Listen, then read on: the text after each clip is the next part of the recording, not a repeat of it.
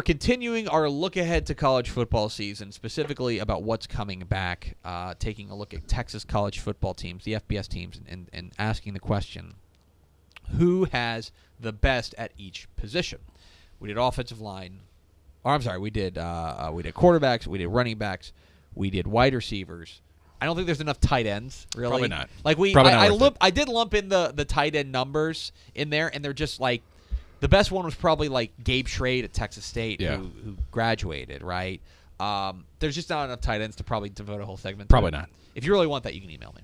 Um, but let's take a look at the offensive line. Let's take a look at the big hog mollies up front, and and I will tell you, in doing this, I guess I didn't realize how many good offensive linemen we're losing. Yep. It is a lot. Yeah. And when you look at this, um, I kind of crunched the numbers. We have three, five, six, nine, uh, 11, 12, 13. We had 13 offensive linemen last year who earned some sort of all conference Mm-hmm. um, nod, be it being on an all conference team or even down to honorable mention. Of those 13, did I say 13? Probably. Okay. Of those, I should really count these. Uh, would you care to guess how many graduated? Yeah, it's 13. 11. Six. Oh, well. So Plenty are coming of back. But here's the it. thing. Here's what we're losing. we're losing Matt Pryor from TCU, who's second team All Big Yeah. 12. Joseph Noteboom from Tex- uh, Yeah. TCU, who's honorable mention Big 12. Austin Schlottman from TCU, who's all, honorable mention All Big 12. Will Hernandez, best offensive lineman in the state, who went to UTEP or who's, who's gone to the NFL. Who's first team conf- Yeah. All Conference USA.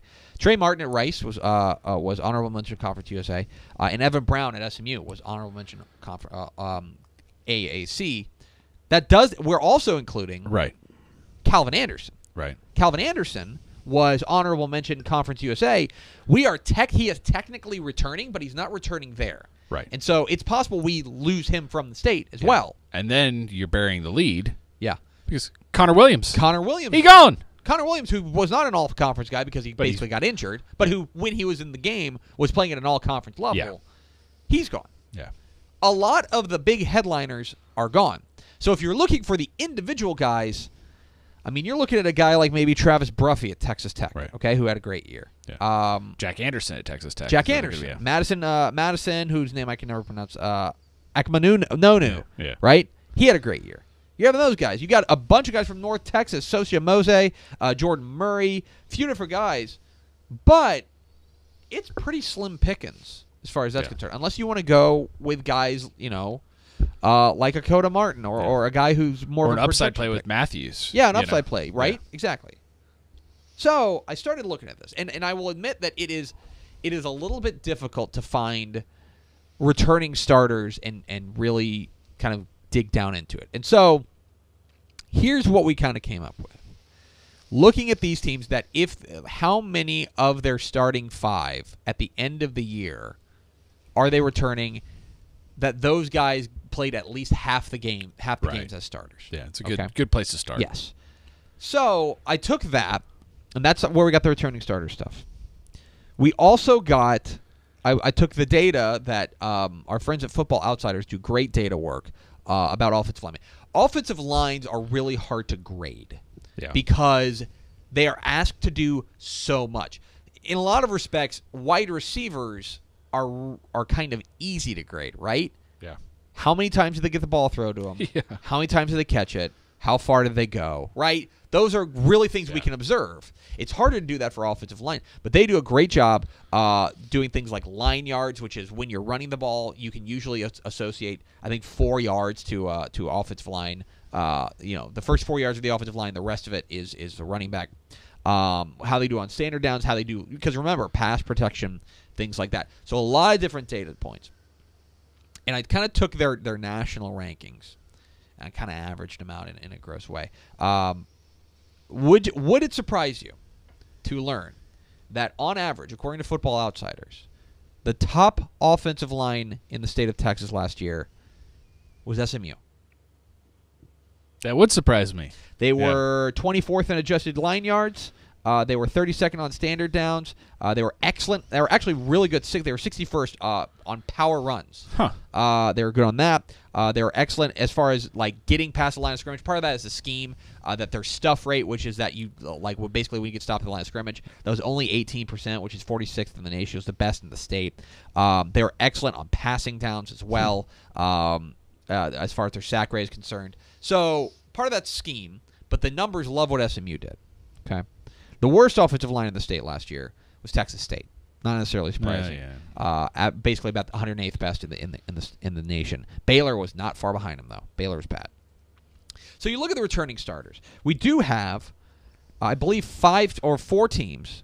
Uh, is that right? With four teams that return all five offensive linemen. That's not bad. Tech, A&M, Baylor, and Texas State. We're considering that the guys that they bring back were starters last year, so we're going to count them as returning starters. That's not that's uh, you know SMU brings back everybody except Evan Brown, who is their you know, all conference uh, center.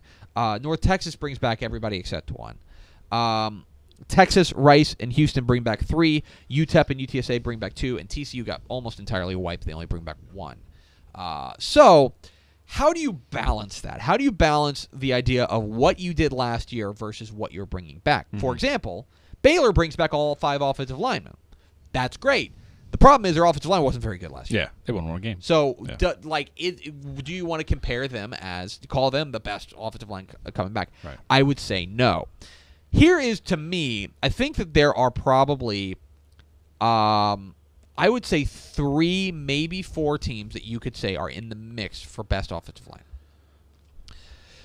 One is North Texas. Right. I think North Texas is a pretty good offensive line. They're bringing back four starters from a team last year that, that was pretty solid across the board. If you take the the average, they were fifth, the fifth best in the state. Bringing back four offensive linemen, I think they're in the mix.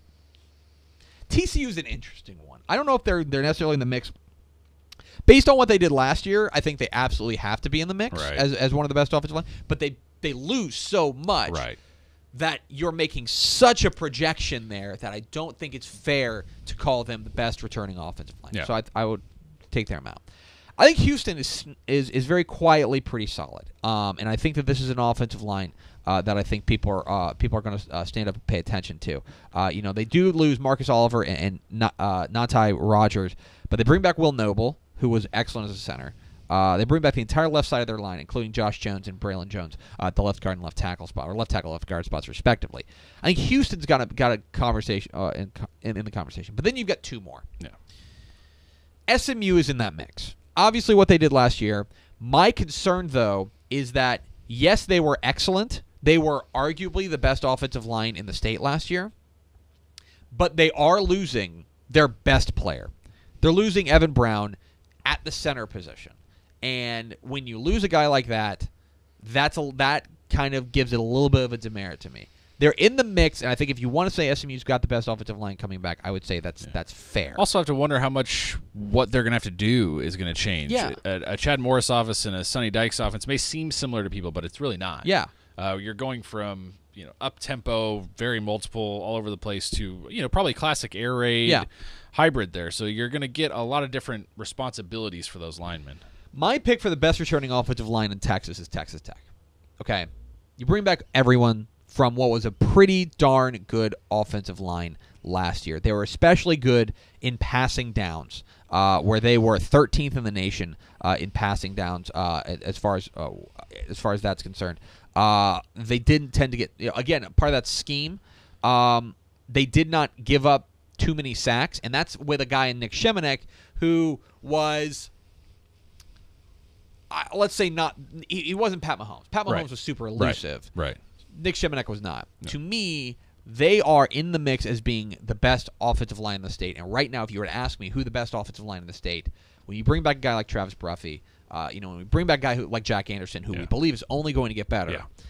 Um, and in fact, if you want to say, if you want to, if you're looking for the individual, right, who's the best offensive lineman in Texas coming back, uh, I think you've you've got a couple choices at Tech, including Jack Anderson, who I know people were just raving. Hey, about. you can play that well as a freshman. You're going to Yes. be pretty good. Absolutely. Yeah. So, for me, I would give the nod right now to Texas Tech. I think they have the best returning offensive line in the state.